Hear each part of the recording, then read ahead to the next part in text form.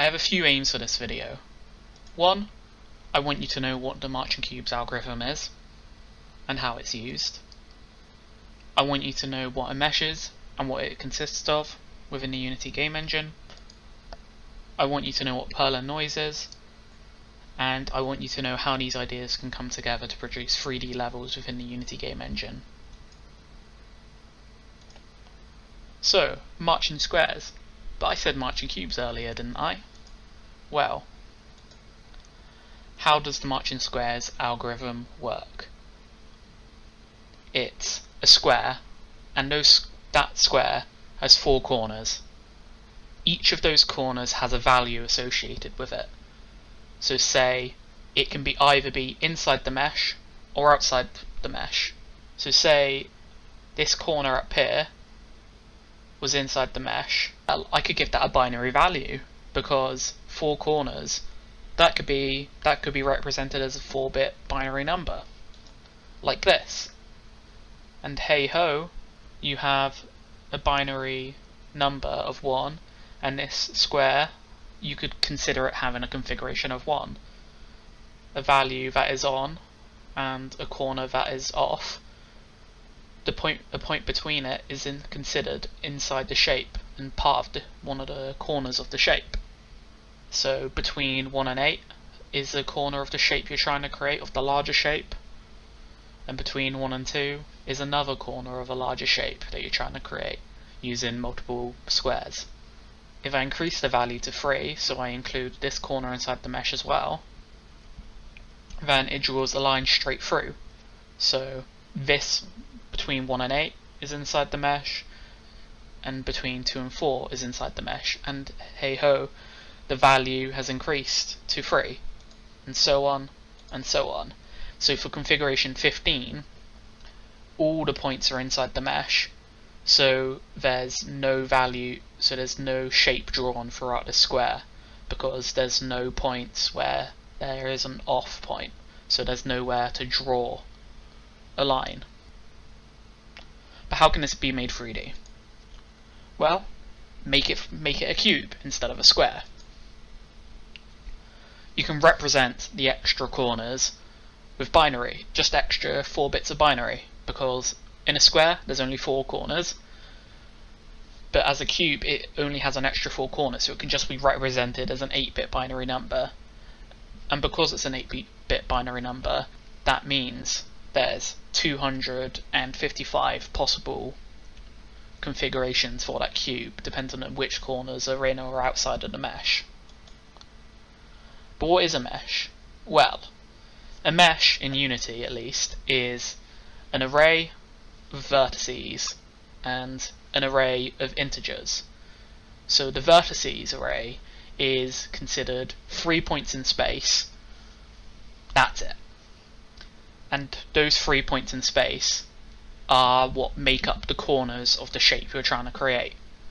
You then use an array of integers called a triangle array. What that does is you indicate which um, indices of the vertices array are considered the triangles that should be drawn. So what you could do is say this was, for this example, 0, 1, 2. So 0, 0, 0, 0, 0, 1, and 1, 0, 0.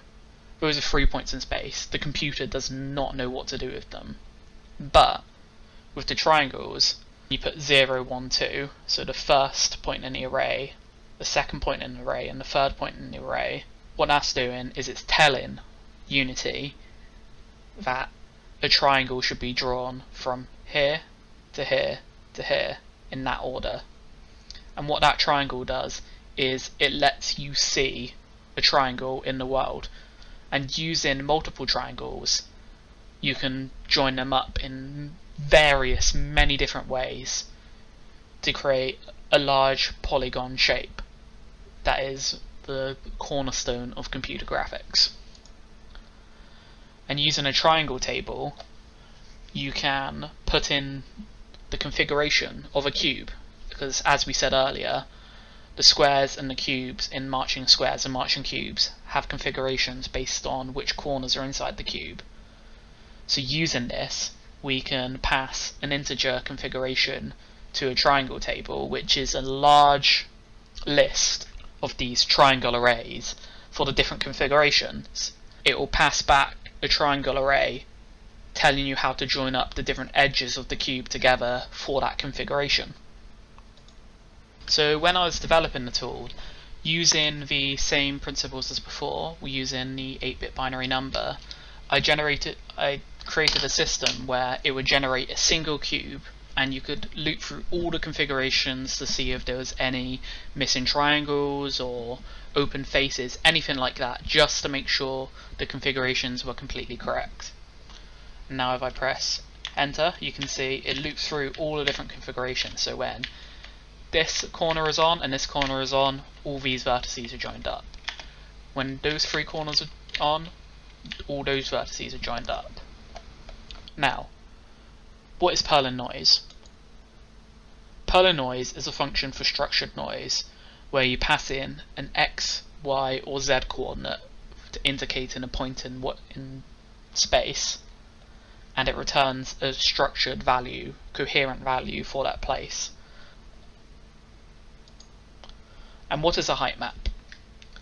Well, a height map is basically what this piece of code is doing.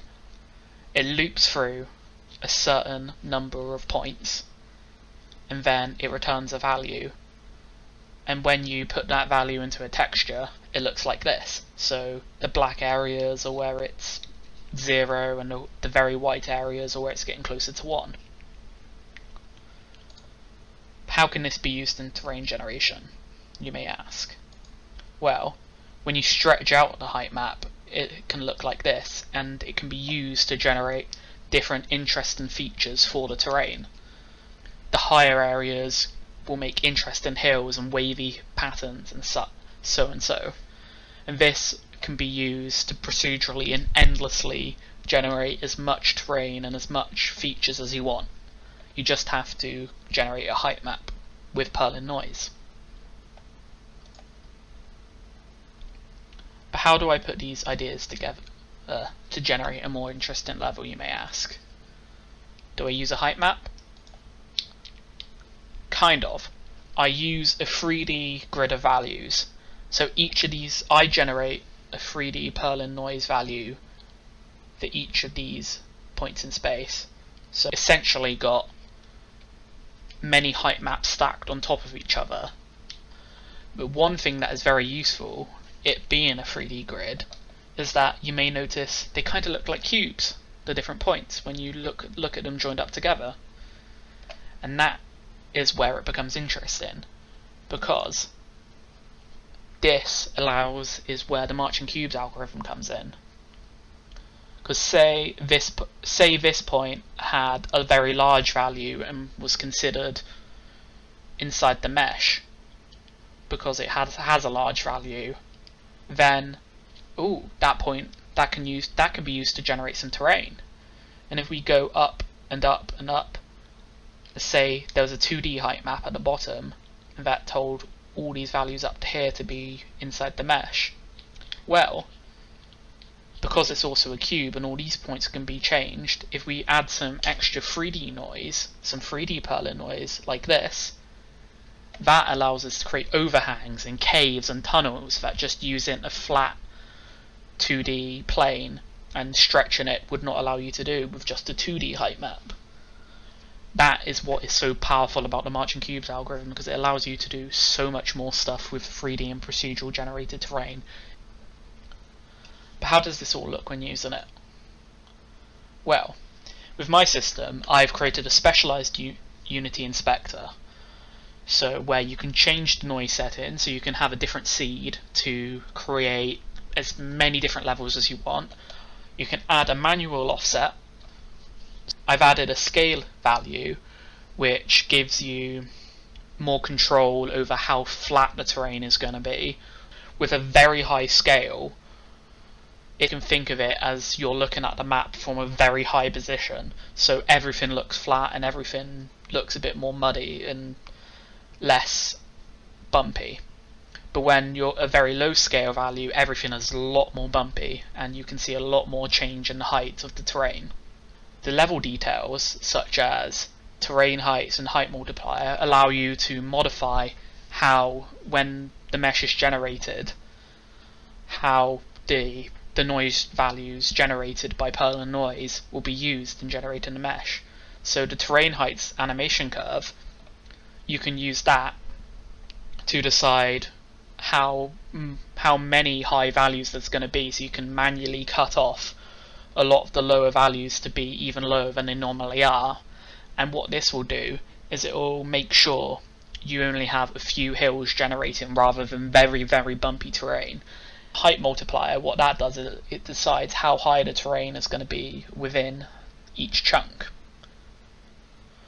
and the system I use to generate my levels is each chunk has its own mesh. So, and it can be a certain size, and it can, and then what the level is is the level is made up of a number of these chunks in the x and z directions. So, say you wanted a 60, say we kept a chunk size like this. This is going to do 21 by 21 chunks to generate a level and it's going to generate hills at the edge of the level to box the player in. And then the final detail for my inspector is this chunk cube size, because essentially that is deciding how big each of the cubes and the marching cubes is going to be. So if you make this value a lot higher, that means the resolution is going to be a lot lower because it's looking at less points from the noise. If you decrease this value, that's mean it's going to be sampling more points from the noise, so it's going to be a lot higher resolution mesh. But however, because it's a higher resolution mesh, it will take longer to generate. But using this system, you could generate LODs for your level. So, say you had an endless terrain system, very far away chunks could be using a much higher resolution or much lower resolution mesh, so it's less straining on the GPU. But the all the chunks very close to the player could add a very high, like very low chunks, very small chunk size to have a very high resolution.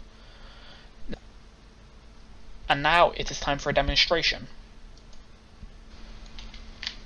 And explained before, you can modify these values however you want. Make a very large level, a very much smaller level, and so and so using the chunk system. And if I click generate, uh, by an I in with a chunk a level of 5x5 with the current chunk size. Well, I'll make the cube size larger so it's lower resolution. You see? It generates a level like this. However, if I increase the chunk cube size, much higher resolution, and you can see it's opened up this underground area because the cubes are able to pick up the higher resolution. And if I make it slightly larger,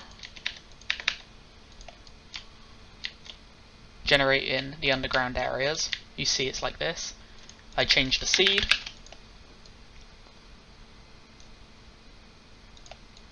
And you can see it's generated a completely different level for your game. Thank you for watching. I hope my video is informative and you have learned about the Marching Cubes algorithm and how it can be used to generate terrain in Unity.